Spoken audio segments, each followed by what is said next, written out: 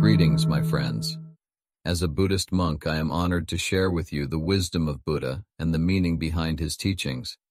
Today's quote is, Patience is the highest asceticism.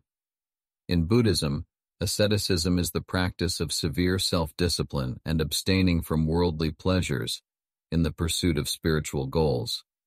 Patience is considered the highest form of asceticism as it requires a great deal of discipline and self-control.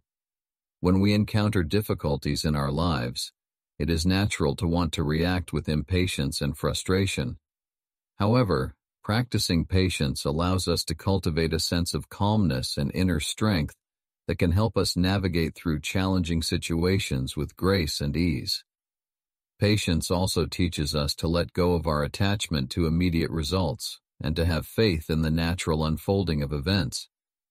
By embracing the present moment and accepting things as they are, we can experience a sense of peace and freedom.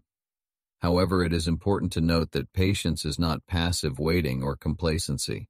It is an active choice to stay present and engaged while maintaining a calm and steady mindset. Patience requires effort, perseverance, and courage. In our fast-paced and instant gratification culture, it can be challenging to practice patience. But by embracing this highest form of asceticism, we can cultivate a deeper sense of inner peace, strength, and resilience.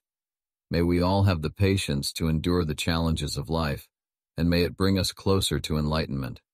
May you all be well, happy, and peaceful.